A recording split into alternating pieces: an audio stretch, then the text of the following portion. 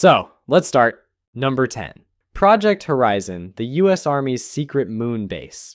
In the late 1950s, the Cold War paranoia was so intense that the US Army wasn't thinking about peaceful exploration. They had something much more ambitious a full scale military base on the moon. This was called Project Horizon, and the goal was to beat the Soviets to the moon and, if necessary, control it militarily. The plan was insane.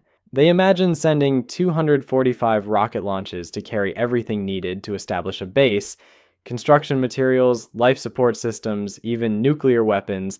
The base would house 12 soldiers underground in pressurized metal tunnels, with nuclear reactors providing power and communication systems that would link them directly to Earth.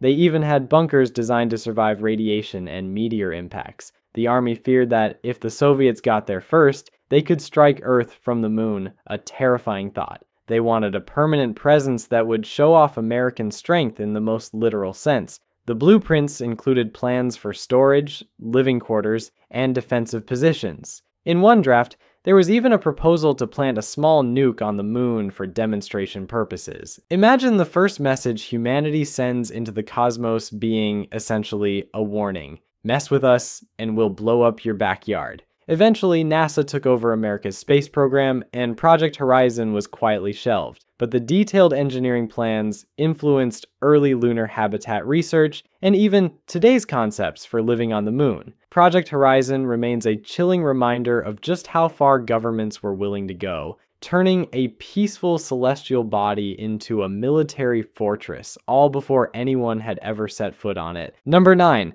Project Rover nuclear rockets that could change space travel. While most of us imagine rockets burning chemical fuel, the US government once considered propelling spacecraft using nuclear bombs. This was Project Rover, a classified plan from the late 1950s to the early 1970s, and it was as terrifying as it sounds. The idea was to create a nuclear powered engine for long distance space travel. Instead of chemical combustion, these engines would use a small nuclear reactor to superheat hydrogen and blast it out at incredible speeds.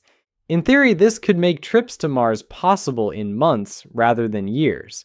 Engineers tested the reactors in Nevada and proved they worked. The thrust was incredible, about twice that of conventional rockets. But here's the kicker every test produced radioactive exhaust. This wasn't just a tiny bit of radiation, it was a literal cloud of nuclear material that could drift into populated areas. Scientists debated the ethics, but in classic Cold War fashion, the logic was the ends justify the means. Some even proposed launching the reactor into orbit first to reduce Earth contamination, which sounds like a bad idea even by government standards. The project ran for almost two decades. By 1973, environmental concerns, cost, and treaties against nuclear explosions in space killed it. Yet, the concept is making a comeback in modern nuclear propulsion research. Nuclear rockets could one day send humans to Mars faster than we ever dreamed. But back then, it was humanity flirting with disaster just to go further than anyone else. Number 8. The Lost Cosmonauts, Soviet space secrets they tried to erase. Long before Yuri Gagarin became the first human to orbit Earth in 1961, the Soviet space program was a perilous playground for test pilots. Some of these missions were successful, some ended in failure, and some never even made it off the ground, at least officially. These were the so called lost cosmonauts. Amateur radio operators in the 1960s claimed to intercept faint, desperate signals from spacecraft that shouldn't have existed. Some recordings included faint voices calling for help, mechanical warnings, and gasps for breath, all fading into eerie static. While skeptics argued that these were hoaxes, declassified documents later revealed that the Soviets did conduct secret test flights in the early years of the space race, sometimes sending human pilots in experimental capsules without proper recovery systems. These cosmonauts faced enormous risks. Capsules could fail on launch, explode in orbit, or burn up on reentry. If they survived one stage, they might still succumb to oxygen failures or radiation, and if they died, the Soviet government erased their existence completely. Families were told their loved ones died in training accidents. The Cold War demanded perfection, and human lives were expendable in the pursuit of propaganda victories. Even today, the lost cosmonauts remain one of space exploration's darkest mysteries. They serve as a chilling reminder that before the heroic narratives we celebrate, someone had to pay the ultimate price in silence, floating unseen among the stars, their sacrifices erased from history. Number 7 the X 37B, America's ghostly space shuttle. The X 37B looks like a mini space shuttle, but appearances are deceiving. Developed by Boeing and the US Air Force, this secret spacecraft has spent years orbiting Earth with barely anyone knowing what it's doing. Some missions have lasted over 900 days, which is almost three years of unmonitored activity in orbit.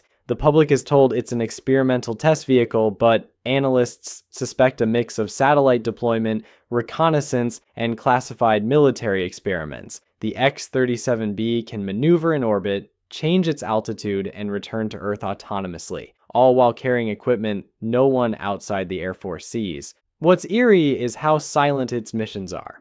The spacecraft launches with much fanfare, disappears into the void, and then lands quietly, its cargo secreted away. Analysts have speculated that it could be testing satellite interception or jamming technologies, perhaps even experimental space based weaponry. Others suggest it may be trialing highly advanced sensors or stealth systems that could allow satellites to remain undetected. Its stealthy nature has fueled conspiracy theories. Some wonder if it's involved in surveillance of other countries' satellites, testing laser or electronic warfare from orbit, or even secretly manipulating orbital debris. Unlike other spacecraft, which have public missions and clear objectives, the X 37B operates as a ghost, visible at launch, invisible in orbit, returning with secrets that only the military sees. It's a chilling reminder that not all space programs are about exploration. Some are about control, observation, and power, the X 37B represents humanity's ability to extend the arms race into the final frontier, quietly, invisibly, and with potentially enormous consequences. Number 6. Project Stargate Psychic Spies in the Cold War. The 1970s were a strange time. While most of the world raced to the moon, the CIA poured resources into Project Stargate, investigating whether humans could use psychic abilities to gather intelligence. The goal was simple if the Soviets were remotely spying on us, could the US do the same using the human mind?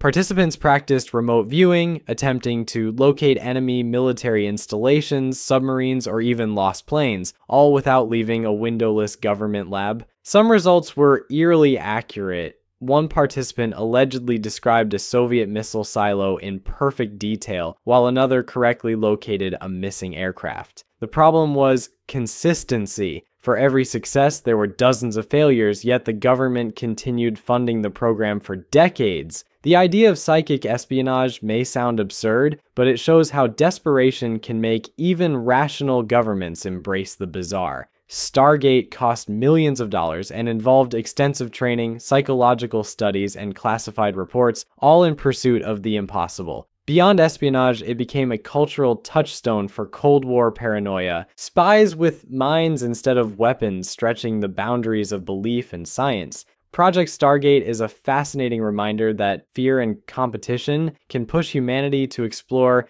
not just the stars, but the very limits of our imagination, even if the results are inconclusive. Number 5. Project Iceworm, Greenland's hidden nuclear base.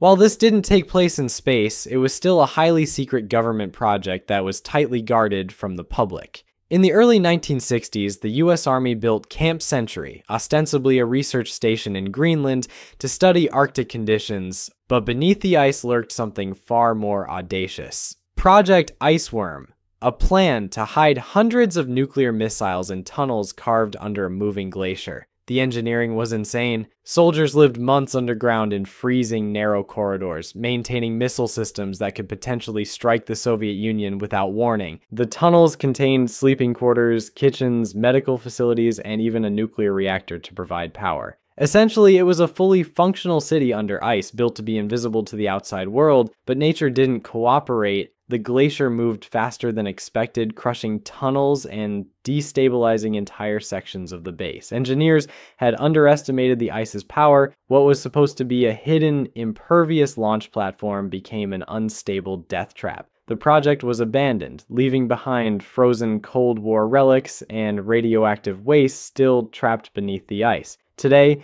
climate change threatens to expose these remnants. What was once secret and safe is slowly surfacing, potentially releasing decades old nuclear material into the environment. Iceworm is a chilling example of human hubris, weaponizing a glacier, relying on nature to stay put, and trusting frozen ice to hide one of humanity's deadliest arsenals. It's a bizarre and terrifying story of ambition, secrecy, and the limits of control. Number 4.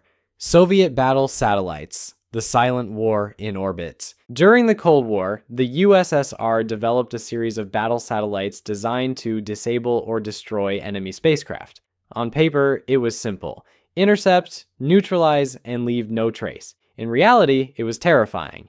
These satellites could nudge enemy spacecraft out of orbit, physically grapple them, or even detonate small explosives near them. The goal was total orbital dominance. The US countered with its own secret programs, creating a silent, invisible war above our heads. Humans on Earth were completely unaware of these ghostly battles happening hundreds of kilometers above them. Satellites weren't just tools for communication or navigation, they were weapons in a theater of zero gravity combat, capable of crippling economies, military networks, and even early warning systems. The collateral consequences were staggering. Tests and accidental collisions created debris fields that persist today, threatening modern satellites and the International Space Station. Every time a fragment of metal drifts through orbit, it's a ghostly reminder of this Cold War chess game. Space, which we imagine as quiet and infinite, was in fact a deadly, chaotic battlefield, invisible to the public eye. What makes this particularly chilling is that any satellite destroyed could have triggered chain reactions, spreading debris across orbit like a minefield.